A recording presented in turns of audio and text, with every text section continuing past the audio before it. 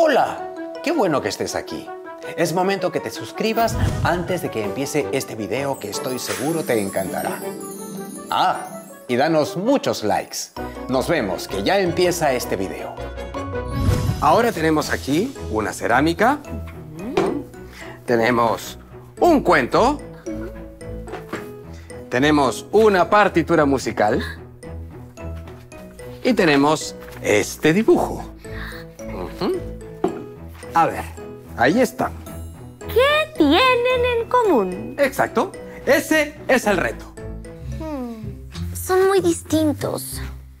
Tal vez fueron hechos por la misma persona. ¡Esa es buena! No, no. Todas estas piezas fueron realizadas por diferentes personas. Ay, entonces, ¿qué puede ser? Hmm, Si esas cosas fueron realizadas por distintas personas. Eso quiere decir que cada persona pensó antes de crearlas. ¡Claro! Eso es importante.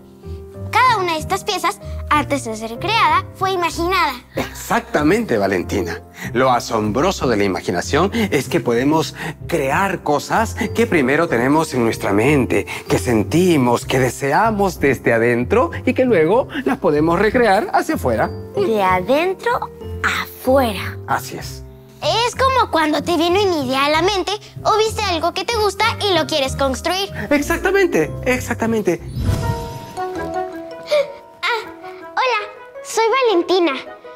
Este episodio ya acabó, pero antes de que pases a buscar otro capítulo de Valientemente, quiero decirte que te suscribas a este canal. Estoy segura de que te divertirás muchísimo.